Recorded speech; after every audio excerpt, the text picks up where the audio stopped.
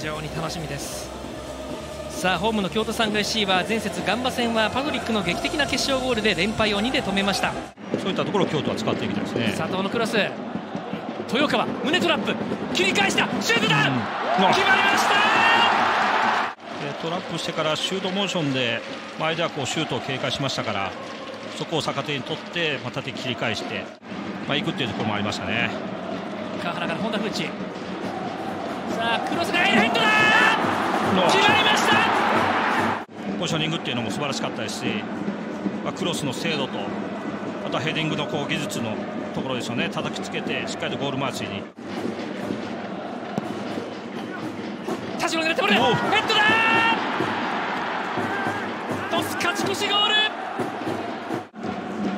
最後誰ですかちょっと見えなかったんですけども。あ京都の選手ですかね。作る速さもありますけども。その前の段階で組み立てていきたいです、ね、のクロス本田風知だ。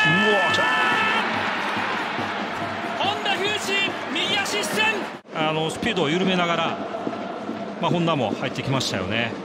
でボールを、まあ、呼び込むというか自分のこう予測の中でマイナス来るであろうとさあ流れもらいく山崎そう出して。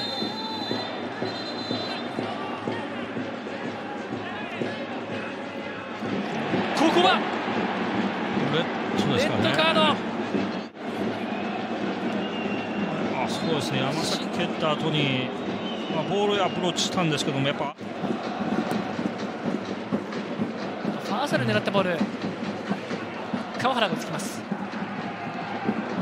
東のクロスヘッドだ。クロスバー。決定でしたね、はい。まあ、1人少ないですけどもやっぱこう生かしていく形はありますねコーナーキックです。に合わせても少しも流れました。堀米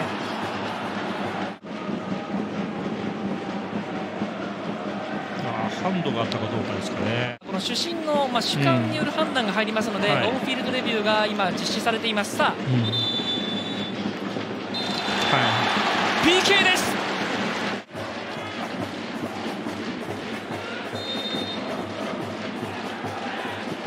す木下決めました。木下は今シーズン3ゴール目。コースは、まあ、出ましたけどパクユが合ってましたけども少しこう高さを加えたことでね。